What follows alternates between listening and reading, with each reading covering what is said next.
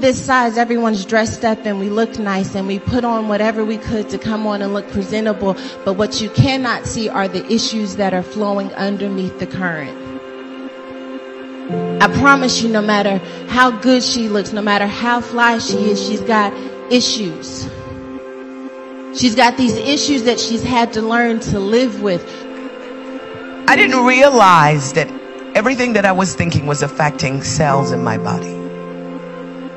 I didn't realize that the things that I was rehearsing was affecting the way that I looked, the way I felt about myself, the way I carried myself, issues in the tissues. I want to be anointed to be seen by my sister. I want my sister to know that I was insecure too. That I was in a bad relationship too. Some people touch Jesus, get the power, and then act like they never had issues. Kind of woman the kind of woman that I'm trying to connect with to say, you know what, babe? I see you struggling, but let me tell you how I got my healing. I knew how to touch Jesus and then be seen. I wish that there were some women in this room and in this generation and in this world who didn't mind saying, yeah, it looks pretty now, but you should have seen how broke down, raggedy, disgusted, and insecure it was before I put the highlight and contour on. I want you to realize that before I had an incredible husband, I had a raggedy, low down, no good for nothing brothers in my life trying to mess up my self-esteem. I want you to know before I got the job that I had to work at the grocery store and I had to flip burgers. I don't want you to just see me in my heel state. I don't want you to just see Mary. I want you to see Eve because had it not been for Mary, there would be no Eve and had it not been for Eve, there would have been no Mary. What am I telling you? I'm telling you another woman needs to see need to see you. I need to see you.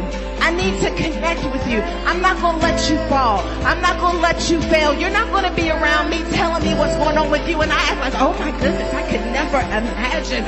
No girl, I may have not gone through that, but let me tell you what I did go through. And let me tell you how I got healed. And let me tell you how I came out on the other side. I want to have a sisterhood of women who won't let another woman dissolve while you can walk.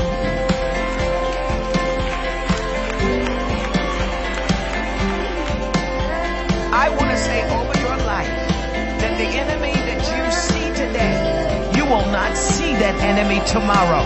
I decree every diabolical cycle is broken.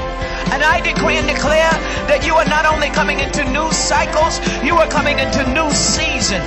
I decree old seasons are broken and God is introducing you to a new season.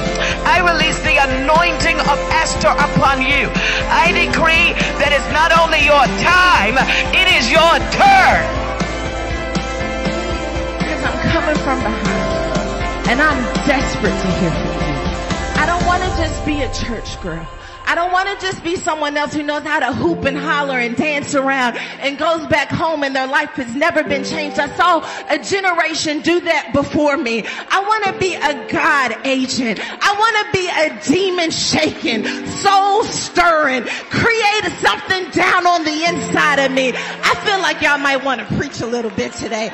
God, do something on the inside of me that shakes up every doubt, every insecurity, every fear. I am desperate, God, to stop these issues. Can I just have 10 seconds for the desperate women, for the women who came to be cute? We'll get back to the message in a minute. But can I hear from some desperate women? Make a demand on heaven. Let God know that you're talking to me. I hear you saying something to the woman you created me to be. God, I can't let this thing take over my mind any longer. Loose your hold off of me, Satan. You have no power in my life. Loose your hold off of my family. You have no power in my life. God, give me my heart back. God, for something other than what I see on Instagram. Put something down on the inside of me that changes this world for the better.